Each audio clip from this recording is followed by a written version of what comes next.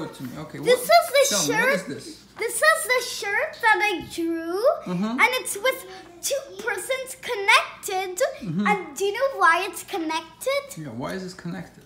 Because uh, when you when you love so when you married someone and you still love them, then you could wear that shirt Mm-hmm. and you could hold hands. Mm-hmm. Yeah.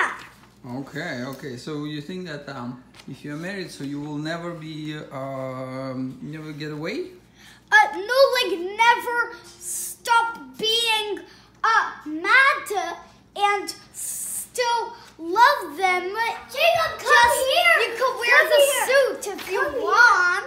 Come here. Come here. Come here. That is uh, that is Come interesting. here, Yeah. That is uh, interesting. Come Yeah. here, Jacob.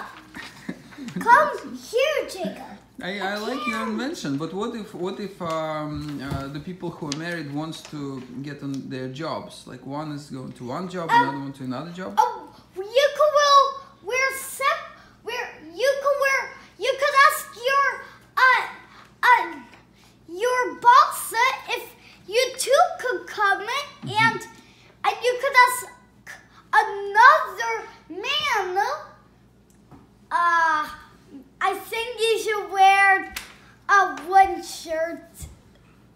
Really? and just go to your work. But I like your idea. I really like your idea. yeah. Yeah, I like it. But I did not adve- I did not draw the thing for identical twins with two heads and one body. Well, well that's um, yeah, that's a tough one. It depends. uh, Oh, I've got a good one.